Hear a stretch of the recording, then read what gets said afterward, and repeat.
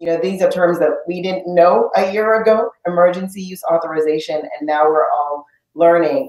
You know, I, I want to kind of walk us through that process. I think this is critical to understand because there is deep rigor here. This is a fully science data driven process and it's very transparent.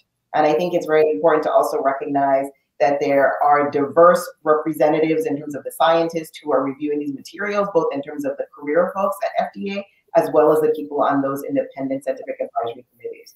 So to answer your question directly, whenever a manufacturer is submitting an application for emergency use authorization, it really is on them to provide evidence on two key things, and that's safety and efficacy. And I'm sure we'll be talking much more about both of those things tonight, but obviously safety is making sure that there are not adverse events, right? And that it doesn't pre- prevent any harm to people. This goes through various phases. We'll hear about phases of trials, and those early phases are really focused on safety.